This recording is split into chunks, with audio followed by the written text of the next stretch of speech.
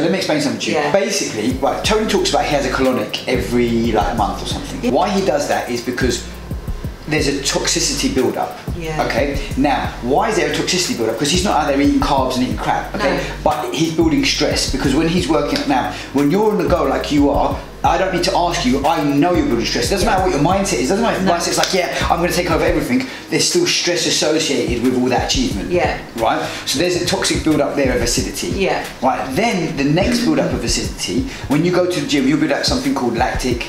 Acid. Right. Yeah. Then you eat protein. That's something called amino. Acid. Is this making sense? Yes. It's really logical Yes. when you break it down that way. Yeah, yeah, yeah, yeah. Right? But you don't think you think, yeah, I'm fit and I'm working out, but hey, that's lactic acid by the way. Yeah. And by the way, that protein's amino acid. Mm. Right? Yeah. It's called acid. So you're acid loading. So what are you doing to alkaline? Yeah. Alkalize. Yeah. Right, and if you're cutting out the green juices, Yeah. then I'm not saying it's only green juices Yeah. because, by the way, what you also told me before was you're la- you're missing the meditation. Yes. Well, meditation stills the mind, reduces the mental stress. Right. Alkalinity and nutrients reduce the nutrient stress, and also fat is in, is in acid. Is is now again, protein is good for your body, fats are good for your brain and good for your body. Yeah. But they're still acid.